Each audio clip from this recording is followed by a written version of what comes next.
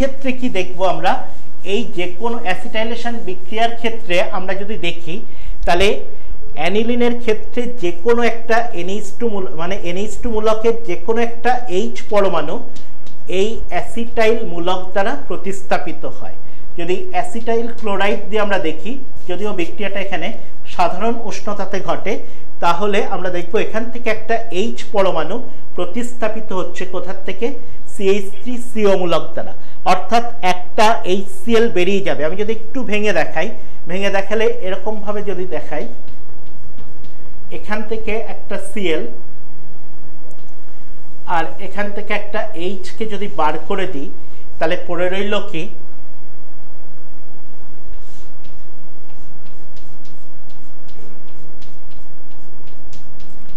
NHCOCH3 plus HCl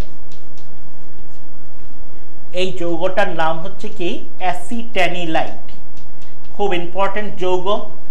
বিশেষ করে NH two মূলককে block করার জন্য আমাকে কিন্তু অ্যাসিটাইলেশন বিক্রিয়াতে যেতেই হবে। কারণ এনএইচ টু মূলক থাকলে পরবর্তী ক্ষেত্রে দেখা যাবে অনেক বিক্রিয়াতে আমাদের আটকে যেতে হবে। এনএইচ টু মূলককে নিয়ে কাজ করা খুব কঠিন হয়ে যাবে। তখন আমার এই মূলকটাকে ব্লক করার জন্য আমরা কিন্তু অ্যাসিটানিলাইটে কনভার্ট করি। যদি আমি এক্ষেত্রে অ্যাসিটিক অ্যানহাইড্রাইট ব্যবহার করতাম, তাহলে আমরা কি লিখতাম? সেক্ষেত্রেও কিন্তু অ্যাসিটানিলাইট তৈরি হবে। বিক্রিয়াটা দেখিয়ে দিচ্ছি। সিএইচ থ্রি সিও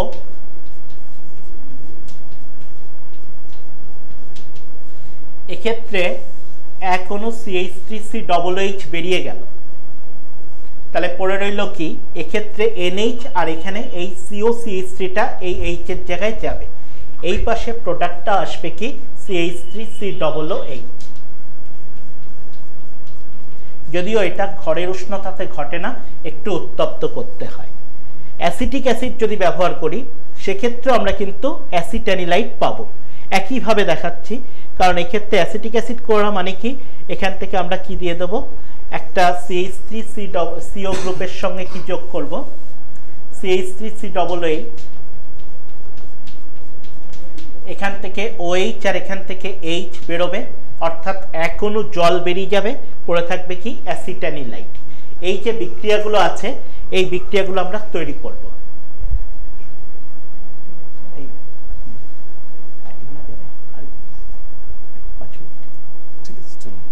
এরপরেরটা যাব আমরা বেনজোইলেশন। ঠিক অ্যাসিটাইলেশনের মতনই আমরা অ্যাসিটাইল ক্লোরাইড ব্যবহার না করে যদি বেনজোইল ক্লোরাইড ব্যবহার করি C six H five C O C L এই যৌগটার নাম হলো কি? বেনজোইল ক্লোরাইড। বেনজোইল ক্লোরাইড আমরা ব্যবহার করলে আমরা কি দেখব? ঠিক অ্যাসিটাইলেশনের যেমন আমরা পেয়েছিলাম অ্যাসিটানিলাইট, এখানেও ঠিক তৈরি হয়ে যাবে কি? বেনজানিলাইট তৈরি হয়ে যাবে। বিক্রিয়াটা দেখাচ্ছি C six H five C O C L অবশ্যই এখান থেকে এইচ সিএল বেরোবে। একটু ক্ষার মিশিয়ে উত্তপ্ত করা হয় এনএইচ ক্ষারীয় মাধ্যমে। তৈরি হয়ে গেল কি? N H C O C six H five plus H C L তৈরি হচ্ছে কি? বেনজানিলাইট এটা আমরা তৈরি করব। অ্যানিলিন কন্ডেনসেশন বিক্রিয়াতে সাড়া দিচ্ছে। কেমনভাবে এর পরের বিক্রিয়াটাতে যাই, যে অ্যানিলিনের সঙ্গে যদি বেঞ্জালডিহাইড বিক্রিয়া করে, একদিকে অ্যামিন, একদিকে অ্যালডিহাইড, সেক্ষেত্রে আমরা দেখব কি এরা ঘনীভবন বিক্রিয়া করছে। অর্থাৎ ঘনীভবন মানে এক কোনো জল অপসারিত হবে। আমি এইভাবে দেখিয়ে দিচ্ছি, এই তো অ্যানিলিন প্লাস বেঞ্জালডিহাইডটাকে একটু ঘুরিয়ে লিখলাম। সিএইচওর ও এবং এনএইচ টুর এইচ টু মিলিয়ে কি এক কোনো জল বেরিয়ে গেল? পড়ে রইল কি? N double bond C H benzene বলায় এই যৌগটার নাম হচ্ছে বেঞ্জিলিডিন অ্যানিলিন বা এটাকে আমরা বলি কি? শিব ক্ষারক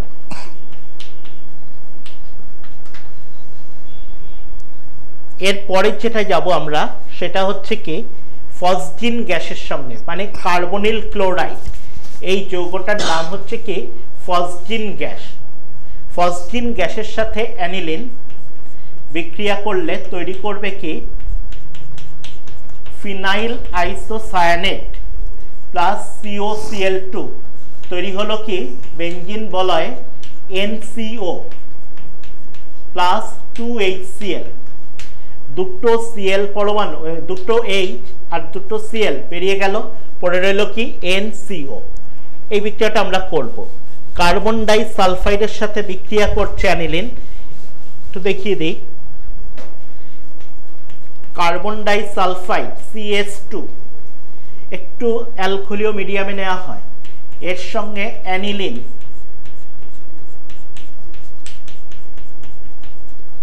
Plus two K O H বিক্রিয়া করে তৈরি করবে কি? S double one C N H benzene বলাই আমি সি সিক্স এইচ ফাইভ দিয়ে লিখলাম। Plus K two S plus তৈরি হবে দুই অণু জল। এই যে যৌগটা, এই যৌগটার নাম হচ্ছে কি? N N dash diphenyl thiourea নামটা একটু বলে দিই, কারণ ইউরিয়ার সংকেত আমরা জানি কি? এটা হচ্ছে ইউরিয়ার সংকেত CO NH two whole two এখানে এই এনএইচ টু দুটো এইচ রিপ্লেস হয়েছে ফিনাইল গ্রুপ দ্বারা। এই যে এখান থেকে ফিনাইল গ্রুপ দ্বারা রিপ্লেস হয়েছে, তাই নাম হলো কি? ডাইফিনাইল আর যেহেতু সালফারের নামটা যেহেতু থায়ো, তাই আমরা এটাকে বলছি কি? Thiourea. আরেকটা জিনিস লাস্ট বিক্রিয়া আমি আজকে করব, সেটা হচ্ছে কি কার্বিল অ্যামিন বিক্রিয়া। খুব ইম্পর্টেন্ট বিক্রিয়া। কার্বিল অ্যামিন বিক্রিয়া, এটা অনেকটা ডিটেলস অনেকটা বড় বিক্রিয়া, আমি বেশি বড় করে বলছি না। যে কোনো প্রাইমারি অ্যামিনের সাথে আর এনএইচ টু যে কোনো প্রাইমারি অ্যামিনের সাথে, এটা অ্যালিফেটিক অ্যারোমেটিক যে কোনো ক্ষেত্রেই আমরা বলতে পারি প্রাইমারি অ্যামিনের সাথে ক্লোরোফর্ম সিএইচ সিএল থ্রি এবং অ্যালকোহলীয় কেওএইচ কস্টিক পটাশ অ্যালকোহলীয় এটা একটু মনে রাখতে হবে। মিশিয়ে যদি উত্তপ্ত করি, তাহলে আমরা পাবো কি? আর অ্যালকিল আইসোসায়ানাইড বা আইসোসায়ানাইড যৌগ তৈরি হয়। এই যে আইসোসায়ানাইড যৌগটা তৈরি হলো এইটাকে আমরা বলি কি? কমন নাম কার্বিল অ্যামিন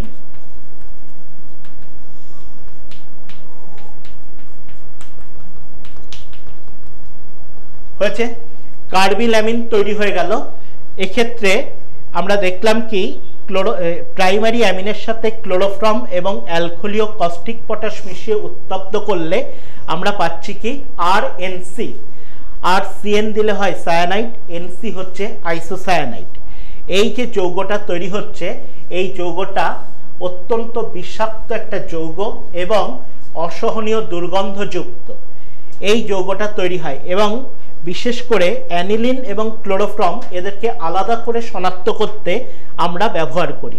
আমরা যখনই আর এর পরিবর্তে সিএইচ থ্রি বসাবো, তাহলে আমরা লিখব কি? মিথাইল আইসোসায়ানাইট আর যদি সিএইচ থ্রি না বসে, যেহেতু আমরা পড়ছি কি অ্যানিলিন আর এর জায়গায় আমি যদি বসাই C six H five, aniline বসাই, তাহলে আমরা যৌগটা পাবো কি? ফিনাইল আইসোসায়ানাইট উৎপন্ন হবে। এই যৌগটার নাম হলো কি? Phenyl isocyanide. এটা কি? অত্যন্ত বিষাক্ত এবং অসহনীয় দুর্গন্ধযুক্ত একটা যৌগ। আমরা অ্যানিলিন শনাক্তকরণে এই বিক্রিয়াটা ব্যবহার করতে পারি। আবার ক্লোরোফর্ম শনাক্তকরণে এই বিক্রিয়াটা ব্যবহার করা যায়। এক্ষেত্রে একটা জিনিস আমাকে বলতে হচ্ছে যে, আমরা অ্যালকোহলীয় কেওইচ ব্যবহার করেছি। এক্ষেত্রে অ্যালকোহলীয় কেওইচ ব্যবহার করার একটা কারণ আছে। জলীয় কেওইচ কিন্তু ব্যবহার করা যাবে না। যেহেতু অ্যালকোহলীয় কেওইচ কেন?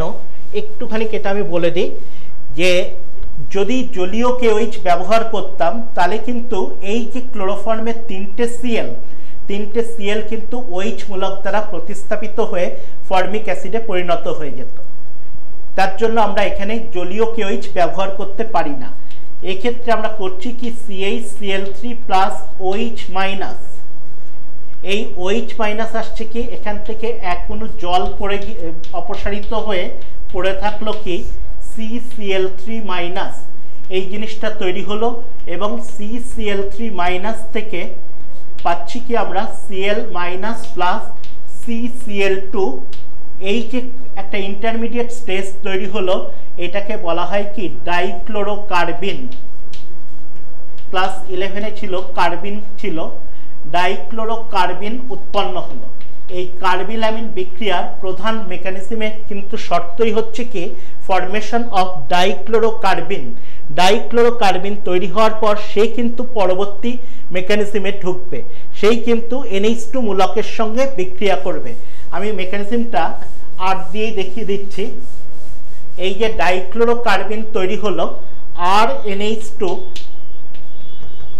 plus CCl two ডাইক্লোরোকার্বিনটা কিন্তু একটা নিউট্রাল স্পেসিস যে চারটে কার্বনের তো চারটে ইলেকট্রন থাকে বাইরের পক্ষে, দুটো সিএল এর সঙ্গে আছে, দুটো রইল।